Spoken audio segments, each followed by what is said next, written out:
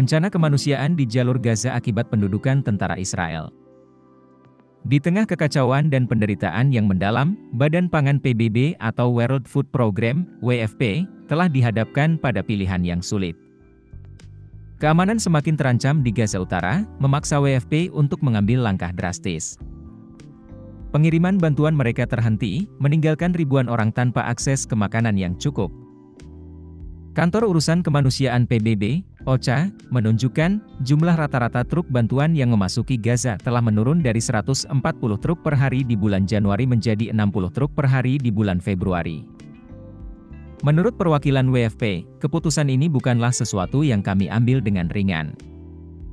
Kami menyadari risikonya, namun kami juga harus mempertimbangkan keselamatan staf kami dan orang-orang yang menerima bantuan. Meskipun upaya untuk melanjutkan pengiriman telah dilakukan, namun serangan dan kekerasan semakin meluas. Orang-orang yang putus asa mencoba memperoleh makanan dengan segala cara.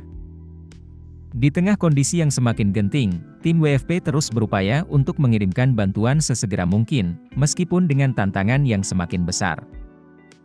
Namun, penghentian bantuan ini juga menjadi bagian dari penurunan dramatis dalam masuknya bantuan ke Gaza secara keseluruhan. Pintu-pintu masuk ke Gaza tetap terkendali, menyulitkan upaya bantuan internasional untuk mencapai mereka yang membutuhkan. Aktivis kemanusiaan di Gaza mempertanyakan, Apakah dunia akan membiarkan orang-orang menderita dan kelaparan? Apakah kita bisa melihat ini terjadi dan tidak bertindak?